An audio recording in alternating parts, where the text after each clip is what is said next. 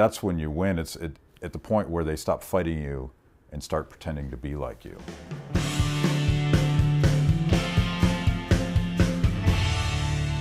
Hi, I'm Nick Gillespie with Reason TV, and today we're talking with Matt Kibbe. He's the head of Freedom Works, and he's the author most recently of the great new book, Don't Hurt People and Don't Take Their Stuff, a Libertarian Manifesto. Matt, thanks for talking to us. Hey, Nick, how's it going? Okay, don't hurt people and don't take their stuff. And then you've got a whole book after that. What, what needs to be expanded on? You know, I think uh, I wanted to translate basic libertarian values into plain English, and, and people would always ask me, what should I read if I want to understand what, what libertarians stand for? And you'd say something like, go read Adam Smith's Theory of Moral Sentiments. Yeah. Which is another way of giving them the yeah, finger, right? It's, it's another way of saying, don't even think about considering libertarianism. So I just wanted to translate it into, into basic values and get them to understand that, that what we talk about when we talk about freedom is really just common sense. Right. And well, and you talk about it, I mean, obviously, titularly, it's don't hurt people and don't take their stuff. You also talk about taking personal uh, responsibility, uh, that liberty demands that you are responsible, things like that. Uh, what you also talk about the non-aggression principle is very basic to your worldview. Explain that a little bit. Yeah, I mean, it, the, the whole basis of, of peaceful cooperation is, is not hurting people um, not violating their rights, their most basic right to life. And you know, libertarians are a little bit different because they don't they don't want to start a fight with anybody. Mm-hmm. They want to be left alone. Um, when you apply that to foreign policy, um, I'm kind of a Washingtonian. It, it's it's it's practical. And by that you mean a George Washingtonian, not a, a, Beltway. Yeah, not, yeah, yeah. George Washington, and he basically said, let's avoid entangling alliances. It was a pragmatic position for him. It's like, do we have money to nation right. build? Can we actually get involved in all this stuff? Well, in, in the circles you travel in, Freedom Works, which you know promotes candidates and causes and issues around the country, you know, moving towards a more libertarian, free minds, free market type of thing. There seems there's you know there's a lot of fellow traveling with conservatives who seem oftentimes to be well, you know what, libertarianism or limited government stops at the water's edge, yeah. and um, are you finding that's changing? Are conservatives, more broadly speaking, you know, finally starting to question a kind of emphasis on overseas nation building? Yeah, and I, I, think that's a return to where conservatism came from. I always thought that libertarianism and conservatism were always kind of mashed up, and there was a skepticism about about about foreign um, uh, aggression and you're seeing it in Justin Amash and, and Rand Paul and, and the trend from the Republican classes in 2010 and 2012. Are they principled about that or are they situational doves, uh, kind of, where, you know, okay, because you know, Democrats who didn't have a problem with uh, uh, Barack Obama talking about bombing Syria are actually bombing Libya. Yeah. You know, they were against the Iraq war after they voted for it and things like that. Are the Republicans going to become hawkish again if and when they take the Senate and the White House? Well, I think it's both. I think it's easier to oppose a Democratic president when he's proposing to bomb Syria. But I think it's a serious philosophical shift as well. And you're going to see more and more Republicans challenge a Republican president if, if if he or she starts trampling our civil liberties, if, if he or she starts proposing this kind of uh, blank check uh, nation building. You were uh, critical, obviously, of the George Bush administration and the Republican Congress under George Bush, also critical of uh, Democrats. Are we getting to a point where back to back you have a kind of nightmare scenario of conservative Republican government doing everything they say they're against. You know, they blew out the budget, they expanded entitlements, they made war overseas after promising a humble foreign policy.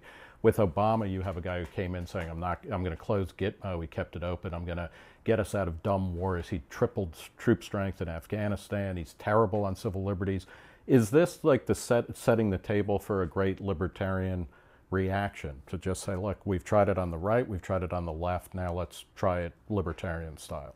I do think that is the trend. Um, and I think a lot of the reason you're seeing so many people interested in libertarian ideas is the failure of the Republicans, the failure of the Democrats, but also the ability to go get the information for yourself. You're not, you're not waiting for the RNC to tell you what to think anymore. And, uh, you know, I tell a story in the book about Justin Amash trying to figure out why he didn't quite fit in with Republicans. Uh, he just typed it into Google. Right. Up pops F.A. Hayek I think more and more young people are, are building their own curriculums mm-hmm. and get, didn't get it in high school, didn't get it in college, but all of a sudden, um, all the things that I struggled to find when I was a teenager, you can find with just at your keyboard. Uh, talk about how that plays out in political organizing, because that's you know one of the things you do. You're kind of a community organizer, a political organizer. You have some fun with that in the book, given that those are often uh, words described, you know, used to describe Barack Obama. Uh, but you know, how how does the internet and the decentralization of knowledge help change political battles?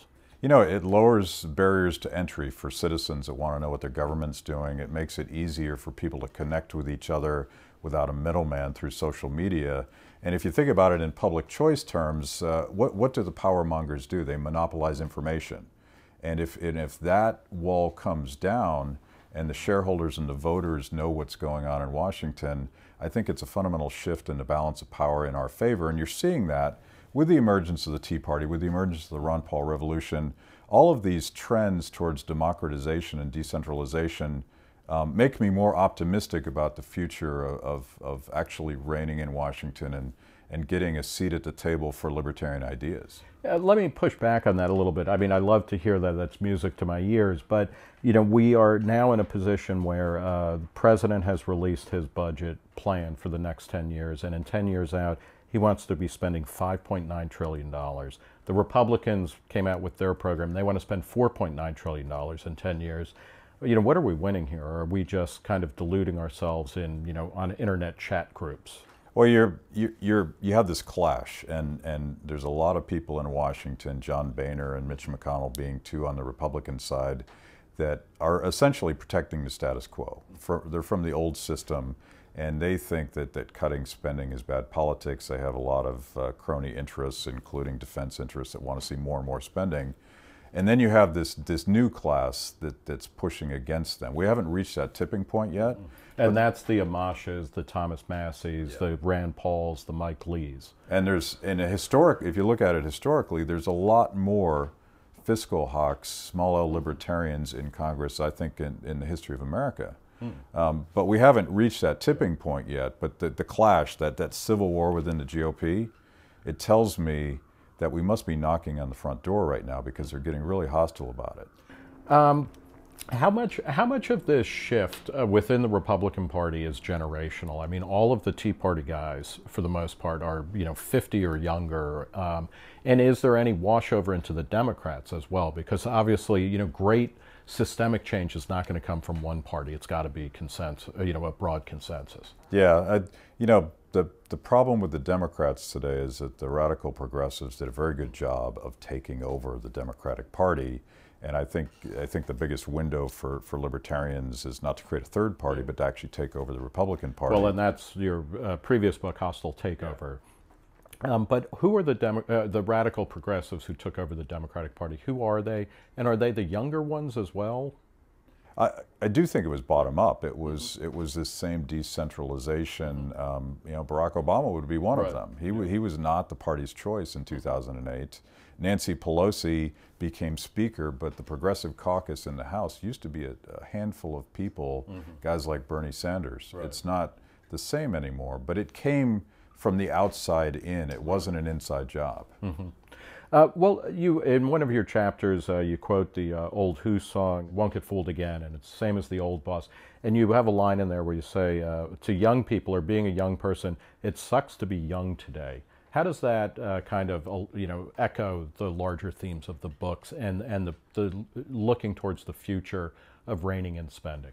Well, I'm talking about generational theft and, and the way that we're spending so much money we don't have that's gonna that's gonna get dumped in their lap. Specifically about Obamacare, which which is the most uh, obscene reverse Robin Hood. We're, we're making forcing young, healthy, less wealthy people to cross subsidize big insurance companies and older, wealthier people. Mm-hmm. I mean that's that sucks, right? And it, it, it sucks to be young because that's on top of all this other generational theft. So that's Medicare, uh, existing Medicare, Social Security. All of the unfunded liabilities mm-hmm. that, that won't be there when they get older. And on top of that, they're still living with their parents. They probably got 50 grand in college I, debt. As a parent, I see that more as a cost on the parent, not on the child, but.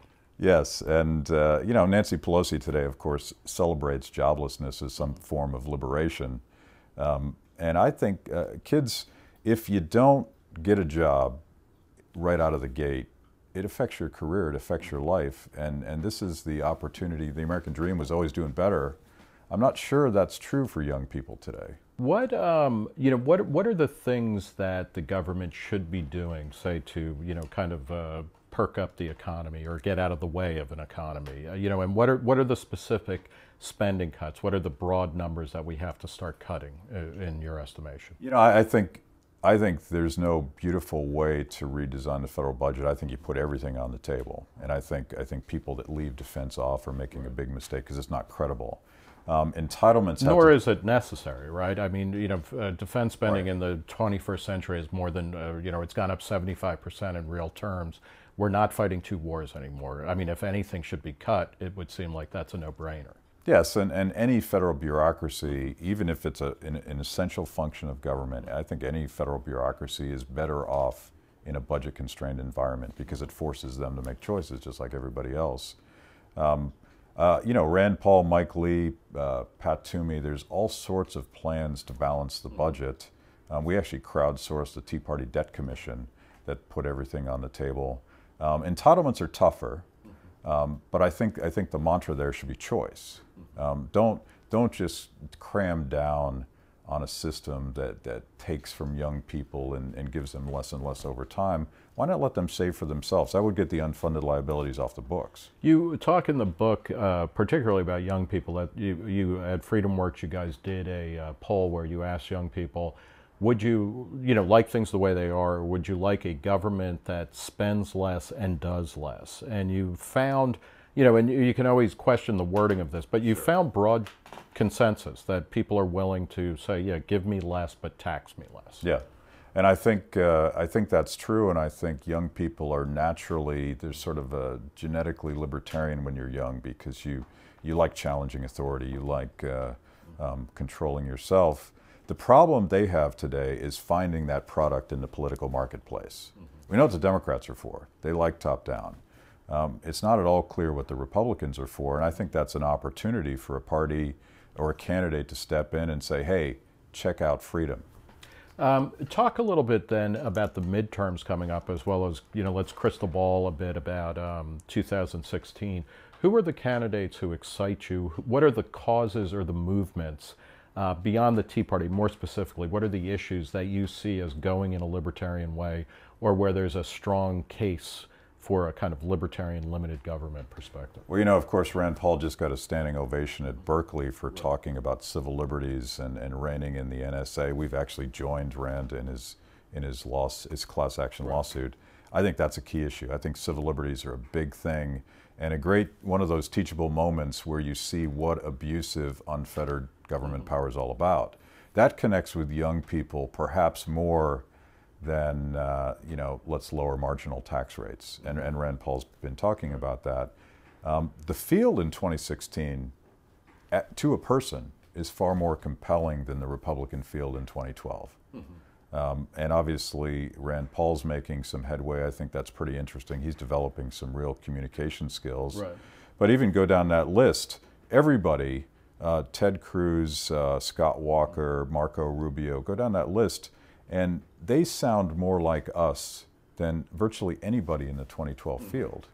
Where does, uh, talk about immigration, because this is a, another, you know, and I'm thinking as you, you mentioned those people, and Rand Paul just recently has said, you know, we got to get past being, uh, the Republicans have to get past being the party of deportation, uh, which is causing a hullabaloo on the right, because they're like, oh, that's amnesty, or that's this you know, what is what's the preferred path that you lay out for immigration reform? You know, I've actually talked to to some of uh, the people I most respect in Congress about writing our immigration mm -hmm. bill. I think the principle is quite simple. If you want to come to this country and work, we want you. Mm -hmm. um, I think the the honest disagreement is whether or not you should arbitrarily change the rules once people broke them because they couldn't get in through a rational legal process. Um, Marco Rubio made a huge mistake by letting uh, Chuck Schumer and Dick Durbin write his bill as if the Union Democrats wanted to legalize um, mm -hmm. work. Right. Um, they don't. But, I mean, but how in a in a from a libertarian perspective? I mean, you it's it's hard to say. Okay, well, something like e-verify, where it essentially forces all of us to have work permits, uh, whether you're born here whether you're here legally or illegally. That seems like a bad idea. Uh, Adam Smith, uh, you know, who- who's not a fan of militarized borders, you know, uh, uh, you know, uh, you know, is is it does it? I mean, doesn't any kind of immigration reform ultimately have to say, you know what, the people who are here, whether they're legal or not, we have to we have to say yes. And I mean, the you know, what is the harm of having lots of people in the country who weren't born here? Yeah, I, I don't think there's any harm, and I, I think I think the, the the nature of our country um, embraces that. But I think from a practical point of view, how would you actually get from where we are today to where we need to be? It would be better to look prospectively and rationalize the process by which good people come here to work. Um, this anything that's omnibus anymore, it contains so much garbage, and I, I don't I don't support the, the bill that the, the Senate passed, and I'm not uh, I'm not an open borders guy because I just don't I don't think that's means anything in the context of how the world actually works. Uh, talk a little. You know, uh, one of the uh, curious things. The book is a is a great read. I mean, it's really. Uh, I don't want to say well written. That sounds patronizing. I mean, it's a totally engaging read. Uh, early on, you talk about what you learned from Saul Alinsky, and of course, you know, over the past decade or so, Saul Alinsky has emerged from relative anonymity to one of the great bête noirs of the broadly construed right. Uh, you know, he's the ultimate community organizer. He wrote Rules for Radicals. Uh, Glenn Beck made a kind of a, a career launch by attacking Saul Alinsky and saying that he's has thoroughly infiltrated the Democratic Party. What did you learn from Saul Alinsky? You know, when um, when we were forming FreedomWorks, we were actually reading all of the leftist literature, and we actually read Saul Alinsky before it was cool. And and I was comparing the rules for radicals to the rules for liberty, and I realized how situational and how manipulative Alinsky is. It was never based on principle. You read his book; it's actually dedicated to Lucifer. Um, Google it sometime and, and watch his fans try to rationalize that one. But I think his point is um, this is all about manipulating people into doing something they don't want to do. Rules for liberty, on the other hand, are, are clear, they're transparent, they're equally applied across the board, they're simple. And that's why I think we could win if we embraced those basic rules. Where, um, you know, what is the next step forward in terms of turning? I mean, because you're very much working within the Republican Party apparatus, whether it's a hostile, you know, and it will be a hostile takeover. But when will you know that you have a, uh, you know, a kind of governing majority? I, I think we we know when the community, the people that actually organize and and understand the ideas of liberty, is big enough to matter so much that that we don't have the fight. The fight's over, and all of a sudden you're debating about whether or not uh, you know Greg Brannon or Justin Amash should be the next presidential candidate. Um, that's when you win. It's it, at the point where they stop fighting you and start pretending to be like you. All right. Well, we'll leave it there. Thank you, Matt Kibbe. Thanks, Nick. Head of Freedom Works and also uh, author most recently of Don't Hurt People and Don't Take Their Stuff, a Libertarian Manifesto. Thanks for talking to us. Thank you. For Reason TV, I'm Nick Gillespie.